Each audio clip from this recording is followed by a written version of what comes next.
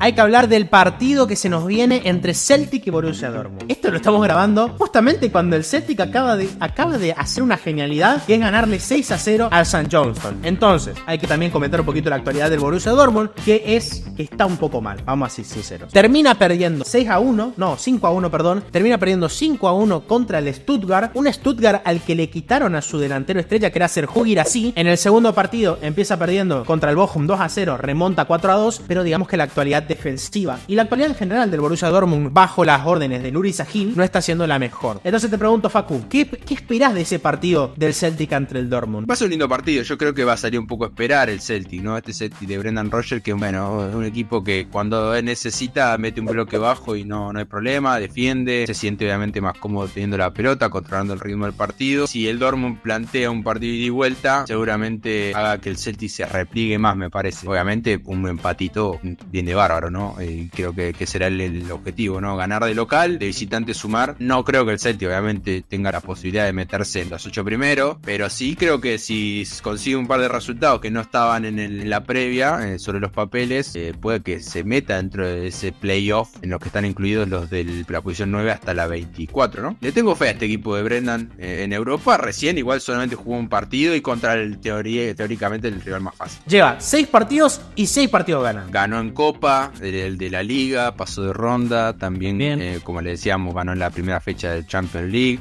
O sea, la verdad que no, no ha conocido la derrota. Venía de una pretemporada muy buena, ganándole al, al City y al Chelsea. En la actualidad de, del que va a ser su rival, que es el Borussia Dortmund, empate contra el Werder Bremen, gana 4 a 2 al poderoso Heidenheim 3 a 0 al Brujas, que tampoco es un rival muy complicado teniendo en cuenta la jerarquía de los jugadores que posee el Borussia Dortmund, pero pierde 5 a 1 contra el, el, el, Stuttgart, como comentaba, y empieza perdiendo 2 a 0, pero después remonta contra el Bochum. Digamos la verdad, está en un proceso de cambio. Nur, Nuri Sahin es un entrenador que no tiene mucha experiencia, pero además porque ha sido un jugador, ha sido un jugador hasta hace poco nomás, pero ha tenido una buena experiencia en, en Turquía, vuelve al, al, club que es su casa, que es el Borussia Dortmund, y bueno, va aprendiendo de a poco a los golpes, pero es verdad que con respecto a lo que vimos la temporada pasada y la anterior, con Edin Terzic, que llegó a estar casi siendo campeón de liga y casi siendo campeón de Champions, es un contraste muy fuerte en la bajada de rendimiento de eh, lo que es el Borussia Dortmund. Pierde a, eh, ¿cómo se llama este delantero que a nosotros nos encantó? A Fulkrug. Eh, pierde a Fulkrug, que se va al West Ham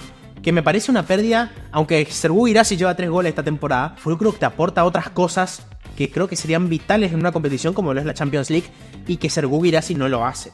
Entonces yo creo que es una pérdida importante. Tiene a Mainu Gittens, tiene a Julian Brandt que está jugando bien, dos asistencias, a De Jemi que encontró su nivel con tres goles y do, eh, tres asistencias y dos goles. Emre Can que todavía no se entiende cómo puede seguir siendo titular en un equipo como el Borussia Dortmund, que encima es capitán ahora bueno. con Nuri Sahin. Tiene a Pascal Gross, que en Premier League lo hemos visto y es un gran jugador. Habrá que ver, es un Borussia Dortmund debilitado que un Celtic con una gran estrategia de juego podría hacerle daño. Así que yo creo que podemos esperar un partido, aunque sea interesante, ante el, el Borussia Dortmund.